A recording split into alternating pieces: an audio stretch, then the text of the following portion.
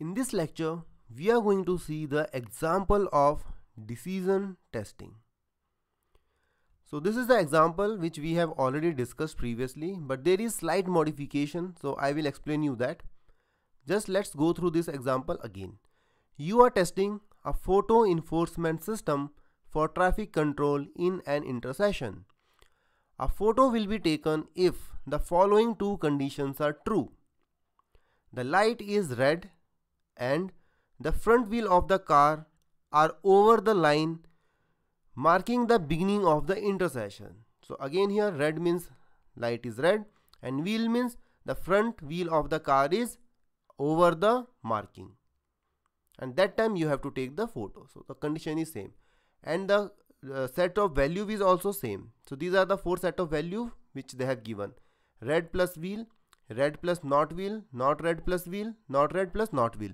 So for below three options answer will be false and the for first two option the answer will be true. And now the question given is assume the logic in the code is as follows. If red and uh, wheel then take the photo else do not take the photo. So till here the question is same but now you see this line. Given the information which set of values provides the minimum test to achieve 100% decision coverage but not 100% condition coverage. So now we have to find out the combination so that we will achieve 100% decision coverage. That means for this decision we will get true and false but it should not contain 100% condition coverage. So for the condition it should not become true and false. For the decision it should become true and false but for each condition it should not become true and false. So that is what is the expectation of this question. And the option given are given are same. So now let's try to analyze the way we have analyzed previously. So this was the code which was given and this is the condition which is given. Now we will start with this particular uh, table and the options will be the first option and the last option where we have left the last question. If I take these two options, I will get red, not red, wheel, not wheel. So if these two condition if I take, it will be true. If I take these two condition, it is false.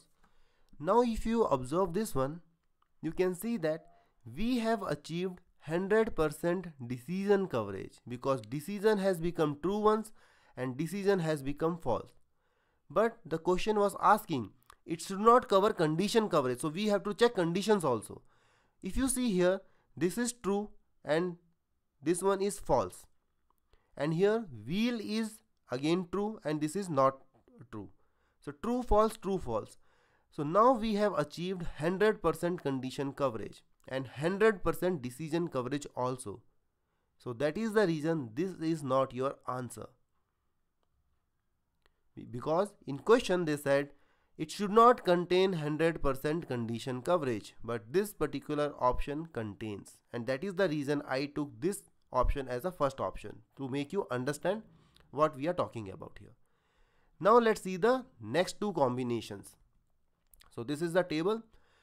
So the next two combination which I will choose is first two combination itself. So red and then again red then wheels and not wheels wheels and not wheels and if I see here the first two true and these two combination it will become false. If you see here now the first thing is it should contain 100% decision coverage so that we have to check. So since the condition was true once and false once this is a 100% decision coverage. Now we have to see that it should not contain 100% condition coverage. So this is red and this is also red. So this is not containing the 100% condition. So now combination 1 and 2 is true. Okay. So we can use these two combination in order to achieve 100% condition coverage but not 100% sorry 100% decision coverage but not 100% condition coverage. Now let's see the, uh, see the next two example. So the example we will take is first one and the third one. So red and not red, red and not red, wheels and wheels and wheels wheels and wheels. Option will be or the decision will be true here and the decision will be false here. Now if you analyze again we have achieved 100% decision coverage.